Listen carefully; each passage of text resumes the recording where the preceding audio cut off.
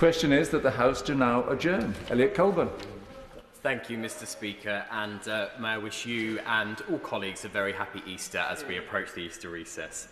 Uh, today, I would like to address the adequacy of public transport in my Carshalton and Wallington constituency, which is one of the worst connected boroughs in terms of public transport connectivity in Greater London and being able to move around quickly and conveniently, as well as easily commute to jobs and businesses around London, is vital for a vibrant economy, community, and my constituents living on the edges of London and Surrey deserve the same levels of connectivity that the rest of the capital enjoys.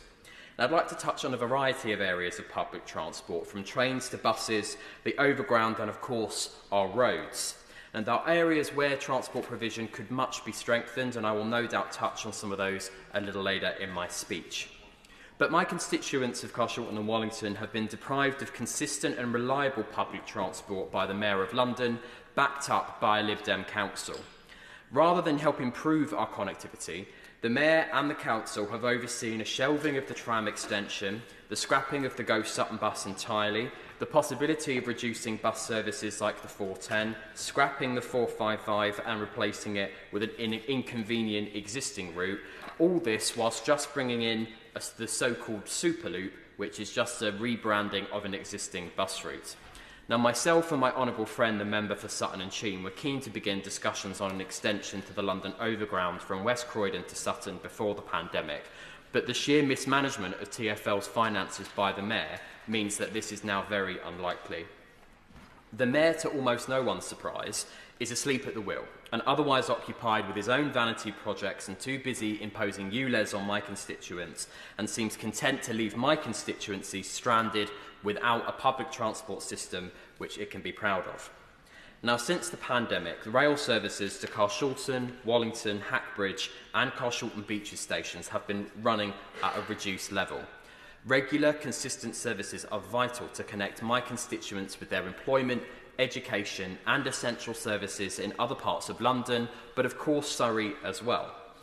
This reduced service means less trains down to um, uh, um, from Carshalton to London Victoria. Um, something like half of the existing services um, are running, which has meant a significant reduction in accessibility and convenience. Now, off-peak services from Carshalton Beaches and Wallington to West Croydon and beyond uh, have been reduced from six to four trains an hour. Now, fortunately, Thameslink services to Blackfriars have remained unchanged, which offers some semblance of stability, but the overall picture paints, uh, paints a concerning narrative of dwindling connectivity and accessibility for my constituents. Now, I have long campaigned for and been successful in, con in convincing rail operators to restore some of the peak time services post-COVID as well as extending the number of carriages on some peak, uh, peak rail services. But these are still too far, uh, too far away from what they used to be. And my mailbag is often filled up with constituents who are unable to board extremely busy weekend services that are often made up of just four or five carriages. So I would support any support that the Minister can help to provide to convince rail operators to restore more peak time rail services, adequate uh, numbers of carriages on trains and adequate weekend services as well. But staying on the topic of rail, I would like to thank Network Rail and indeed GTR, who operate Southern and Link, uh, Thames Link, for their continued engagement with myself uh, on a number of different areas. And one of them is the southbound platform at Hackbridge Station, uh, which is secured funding, which we have now secured funding for to fix what I call the Hackbridge Gap problem. Now, this gap is a huge step down from the train to the platform, extremely dangerous, um, which many people have fallen down, and it has been something which has become so serious that some people have had to travel on to the next stop, Hack Carshalton, and come back to Hackbridge via the northbound line because they simply don't feel safe disembarking, uh, disembarking from Hackbridge Station. I am very glad that we have secured the funding to do that, and I look forward to seeing that project get underway. Now, I've also been campaigning hard for step-free access to the southbound platform at Carshalton Beaches Station.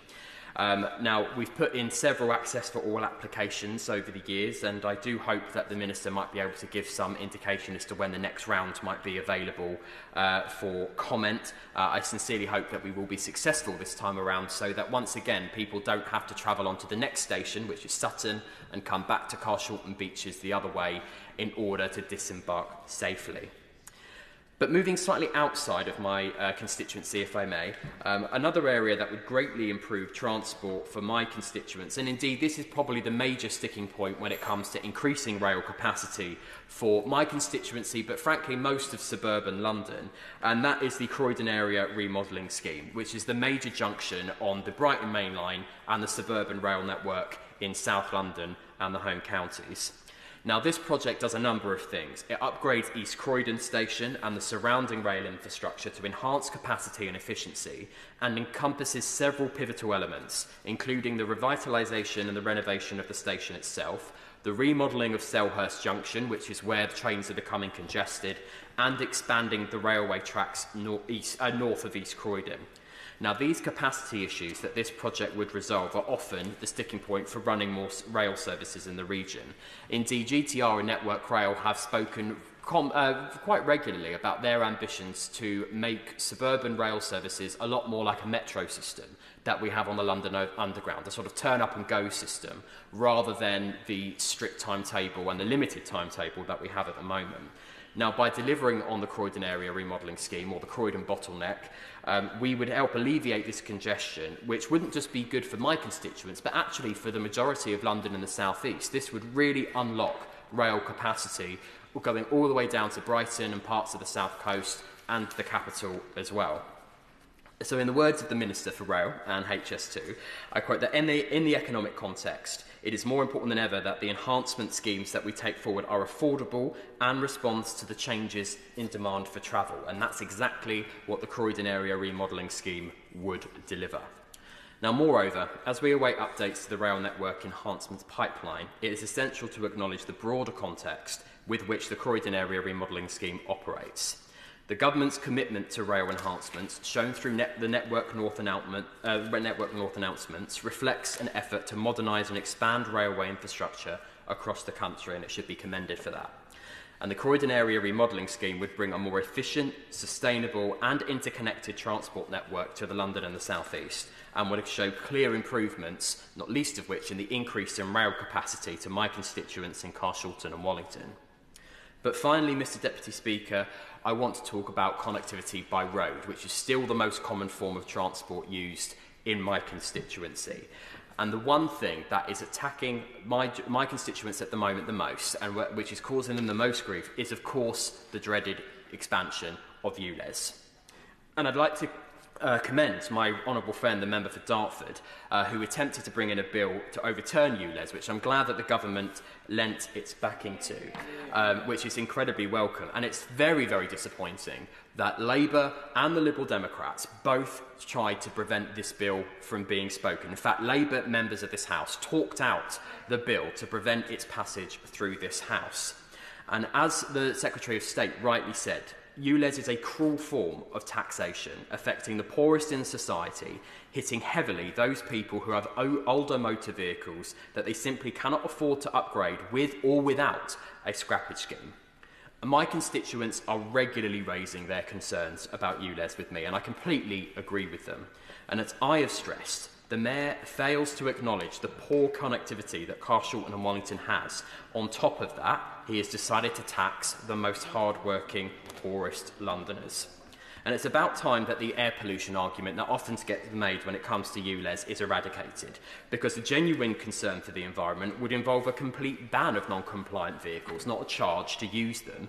Instead, prov instead provided Khan finds himself um, with an additional £12.50 per car in the TFL coffers. You can drive as you please.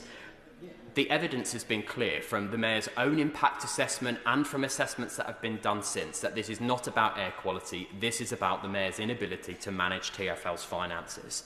The expansion scheme was roundly rejected by the people of London, as can be evidenced through his consultation, and yet the Mayor, backed by the Lib Dems and the Greens in City Hall, all gleefully voted in favour of it. In fact, the Lib Dems boasted that it was their idea in the first place. The Mayor went ahead with this tax on motorists, and he didn't even mention it in his manifesto to get elected. So I would be cautious to those voters who are now being told by the Mayor that he won't bring in any more charges if he gets re-elected do not believe it. We know that the Mayor of London is currently looking. He has employed people in TFL to look at a pay per mile scheme, which means every single car driver in the Greater London will be charged not only for using their car, no matter if it's compliant or not, but for how long and how far you drive it for. We must reject that. We must get rid of the Mayor of London on the 2nd of May and replace him with someone who will not charge car drivers, and that is Susan Hall. Now, between September the 26th and those, uh, November the 6th, in the early stages of the expanded ULES, there were something like 2,700 fines issued in Sutton and nearly, 10, uh, nearly 100,000 in London as a whole, once again proving that ULES is simply a money-making scheme. And I've heard from many of my constituents that they have not been accepted for the scrappage scheme, and that's uh, only about a third of all applications in my borough have been accepted so far, and yet they simply cannot afford to upgrade their vehicle. And this places a huge burden and a threat on people, people's livelihoods. This means that people who are elderly are being isolated in their own homes because they cannot afford to um, get in a car and leave it. This means people are not coming to visit them. This includes small businesses that are either having to pass a £12.50 a day charge onto, onto their consumers or absorb it in a time where they are struggling as well. It means that the Royal Marsden Cancer Hospital is having to refund cancer patients £12.50 a day to come to Sutton to receive treatment for cancer. The NHS should not be having to reimburse ULES charges to cancer patients. There should not be ULES charges on cancer patients, and yet that is the reality that we're living in in Sutton. Nurses, doctors, teachers, parents, charities, businesses all of them, are being affected by this, and hard-working Londoners deserve better. So to conclude, Mr Deputy Speaker, I would like to ask the Minister if he will continue to work with me to see what we can do to improve public transport connectivity at a time where the Mayor simply clearly is not interested in doing so and the Lib Dems gave up on my area a long time ago. And I would very much like to welcome the Minister. He's been a great friend to Carl Shorten and Wallington. He's visited before in other roles in government, so I'd be delighted to welcome him back um, to see the opportunities that Carl Shorten and Wallington has when it comes to transport. And can the Minister reiterate from the dispatch box that the Mayor's unwanted ULEZ charge on Londoners does not help my constituents? They should have, uh, Labour should have backed my honourable friend, the member for Dartford's bill last week. It places a burden on people at a time where they can least afford it. And instead, we should be looking to increase the public transport connectivity of London rather than attacking those who can't change to an alternative. Yeah. The ever present Minister Guy Offerman.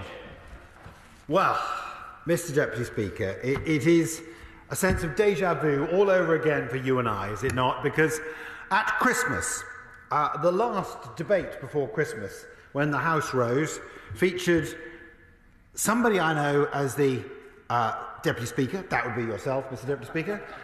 Uh, my honourable friend who sits behind me, who is the Transport Parliamentary Private Secretary, honourably fighting the fight on behalf of the DFT, and my good self, making a case at the dispatch box on an adjournment debate, and it is a privilege and an honour to be the last uh, minister to speak at the dispatch box before Easter. And I echo and reiterate uh, my good friend, uh, the honourable member, who made the first point at the outset, which is we need to wish everybody in the House and who works so hard to keep us safe in this particular place uh, that we cherish and love and adore. Uh, a very happy Easter and a gentle rest over the Easter yeah. holiday so that we all emerge recharged and uh, rebooted and ready to keep the flame of democracy alive on an ongoing basis because this really matters. And uh, having the opportunity to address the House, make the case for democracy, make the case uh, for individual constituents and bringing their concerns and their uh, hopes, their fears, their aspirations to this place is something that we should all cherish and adore. So, it is a great honour and a privilege to respond to my honourable friend. I have visited his constituency in the past. I will be delighted to visit it again, and I look forward to doing that in the next few weeks. Um, it is absolutely the case, to answer his three points at the outset before I get into the nuts and bolts of this, that I will be delighted to work with him on the causes he has set out today, delighted to visit soon, I'm delighted to make the case that ULEZ is a blunt instrument, and we will discuss that in a bit more detail. I can assure the House we're not going to spend the next two hours and 17, seven minutes discussing it, but ULEZ is a blunt instrument which needs to be taken into the context of the individual circumstances of the Londoners and the outer Londoners who it affects. It needs to take into account uh, the impact it has on low income, and public sector workers because uh, the stats on that are genuinely horrifying, and it is not something, with great respect, that is being dealt with uh, in any way sensitively. It is not something that has been dealt with as part of a manifesto uh, from the previous mayor. And I was the minister who responded on behalf of government last Friday to the bill, and I want to touch upon that in a bit of detail. Can, can I, can I first of all uh, discuss with him however, he raised a number of particular issues which I want to try and address. The first is uh, the issue of the, um, the mayor and the finances of the mayor, because, of course, he will be aware, and the Secretary of State has put this on record in writing, that uh, the mayor had to be bailed out by a uh, multi billion pound settlement uh, due to his mismanagement of his funds. Clearly, that has impacted on the provision of bus services, which are utterly key. And I, as the bus minister, am passionate about buses, passionate about the growth in buses, which is actually happening uh, post COVID. But I am alarmed and concerned to hear about the litany of bus services that have been lost in my honourable friend's constituency by the actions of the mayor. And uh, I regret to advise I have no power whatsoever to intervene in the mayoral zone uh, to address uh, any of the bus losses or to try and nudge individual operators to make changes. Uh, we'll come on to rail in a second because some power does exist there, and as he, I know he has worked with the rail minister in copious detail to try and address that. But that is the reality of the mayoral situation on buses that um, is of great concern. And I met, for example, only yesterday with my honourable friend for End, and she and I had a uh, hour-long discussion with the bus operators to try and thrash out difficulties, try and find a way, allow the BSIP and BSOG funding to try and be addressed in those particular ways. And, and that just does not exist, unless, of course, the mayor is providing the right sort of assistance and is prioritising uh, constituents that my honour friend, friend represents.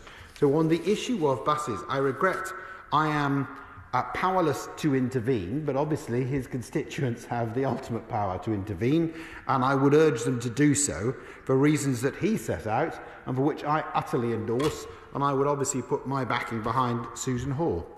In relation to the overall principle of rail, so I know that he has worked with my honourable friend, the rail minister, over a period of time to try and improve and enhance the rail service that his constituents sometimes have enjoyed, sometimes have not enjoyed, as we all know.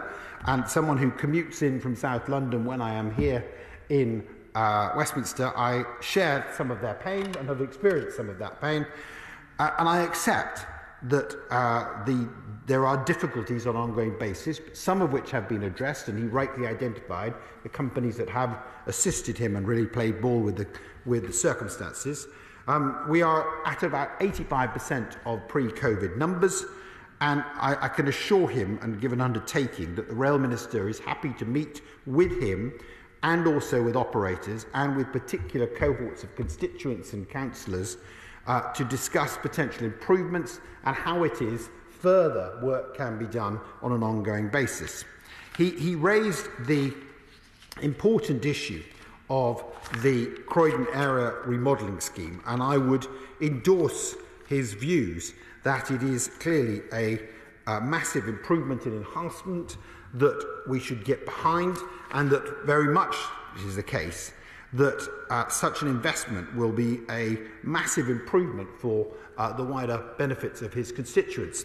In, in terms of the um, Uh, other particular rail and, and uh, infrastructure projects, he talked about uh, Govia Thameslink Railway, the GTR, and clearly uh, he has worked very, very closely with them um, in respect of the services that they are providing, um, and the particularly, I know the busy weekend services between Carshalton and London Victoria are utterly vital, and he he rightly makes the point that from June 2024, the timetable change, um, the services will now run with eight to ten carriages, I'm told, where previously some ran with only five. And I'm sure he'll welcome the additional capacity for passenger using these services.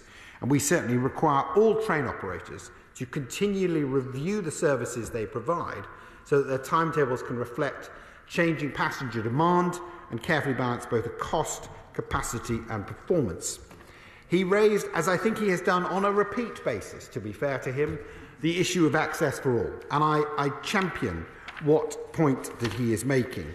He would love me at this dispatch box to triumphantly pull out the Oscar winning envelope and confirm uh, the uh, campaign that he has fought so assiduously for so long. I regret I cannot do that today. But in the time honoured tradition, I can confirm that the decision in respect of uh, the next announcement on extending the access for all and improving the rail accessibility will be made very, very shortly. And uh, he has made his case on a repeat basis. And if he hasn't uh, remet uh, the rail minister who oversees that on that particular issue, I am going to personally go and communicate that to the rail minister myself so that they fully understand how much that particularly matters uh, to his constituents and how brilliantly he has made the case uh, on that particular issue. Can I now turn, um, Mr Deputy Speaker, to the issue of ULEZ? Because uh, there are a number of myths about this which I want to try and address, and there is also more particularly uh, a genuine discussion that needs to be had in this House, and my honourable friend spent about five minutes in his speech doing so, and I want to spend some time in response on that particular issue, which is this is uh, the principle of having a clean air zone in the centre of a city is utterly without dispute, I think. And government has legislated for that, and local authorities and mayors agree with that. And for those of us who are right in the heart of the city right now here in Westminster, the original congestion zone makes total sense and is fully understandable.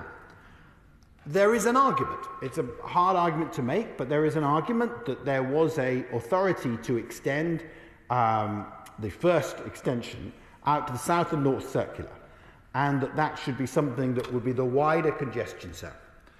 But there is no manifesto. It is patently clear from reading, and I spent rather too long reading the manifesto of the present mayor, uh, some hour and a bit I will never get back in my life. There is no uh, argument whatsoever for the extension that has taken place. My honourable friend rightly talked about the consultation and the responses to that. And, and, and the best bit I can say is two points. The first is take the congestion zone that took place in Bristol which has clearly been relatively successful, was done in, with due consideration, Mr. Deputy Speaker, of businesses, of people living in the heart of the city, trying to keep a vibrant city going. That congestion zone is one mile by two. It's two square miles, basically. The congestion zone we are dealing with in London now has now gone up to approximately 600 square miles. It's 50 miles by 50 miles. The impact on the wider economy of London Parker Amendment, the air quality, because I think he rightfully addressed that.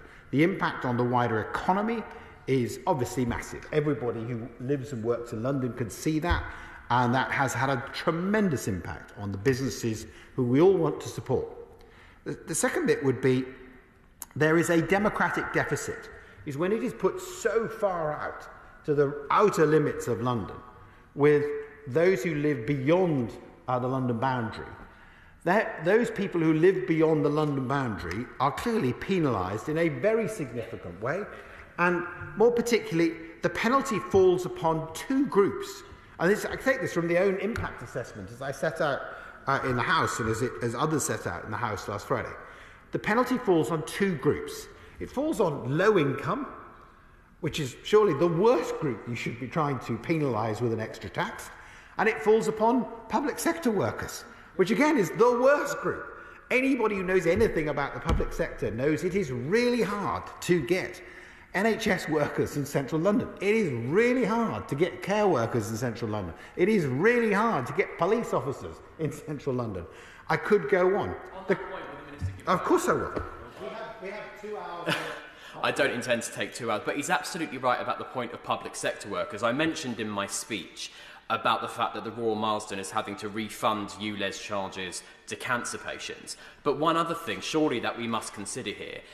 is that something like half of all the Metropolitan Police's officers live outside of the geographical area of Greater London.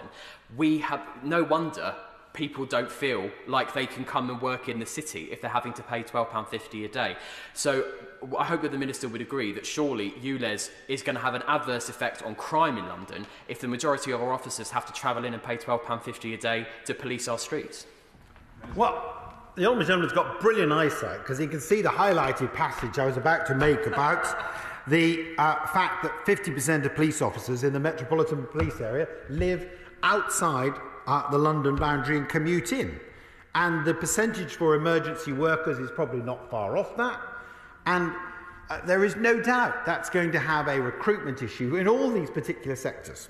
And I, I go on further from that because um, if, if I have a nurse or a care worker, self evidently, for those of us, and I have spent three and a half weeks of my life in St Thomas's Hospital in requiring intensive care on not one but two occasions because uh, I'm so accident prone, um, the, because it's the case that you require, for example, overnight nursing care, a nurse who attends and comes from outside would get penalised on the day she goes in, and when she leaves for her night shift, she gets penalised again. So she gets a double whammy of a uh, charge in circumstances which, and then we are surprised that London hospitals are struggling to retain staff in these particular circumstances. So we start with the ULEZ with, is there evidence actually that it is making a dramatic difference on air quality? And I think the evidence has been set out in a variety of ways um, that the, uh, the improvement is minimal in some respects, particularly the outer reaches is minimal. Is there an impact on the economy? Absolutely, there definitely is an impact on the economy uh, which is a negative impact? Is there an impact on public services, public sector workers, and those, and I quote from the impact assessment, that low, impact, low income people will be more affected by ULE's expansion? Then, without a shadow of a doubt, that is the case. And he raised, um, and I don't want to get too political on the last day before Easter because uh, this house is sitting, but he raised the issue of what's going to happen in the future.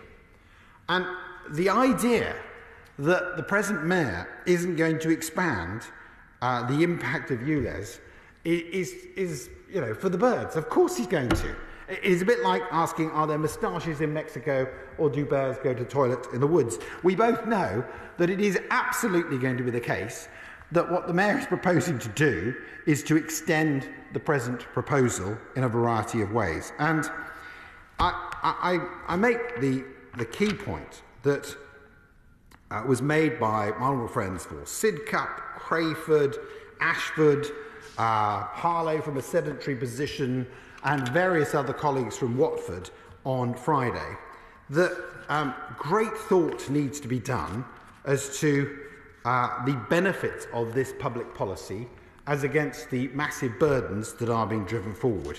And, and you know, we have to clearly consider how it is that we are doing this on an ongoing basis. So to wrap up, Mr Deputy Speaker, I believe that my honourable friend remains a massive champion for this particular area. I'm delighted to come forward and see uh, the changes that he seeks. Of course, it is the case that the Rail Minister will continue working with him. There is good work that is being done, uh, and quite obviously, that we want to support him and his constituents on an ongoing basis. And on that basis, I commend him for bringing this debate to the House before Easter, and I commend uh, the uh, efforts that he is doing on behalf of his constituents. Much.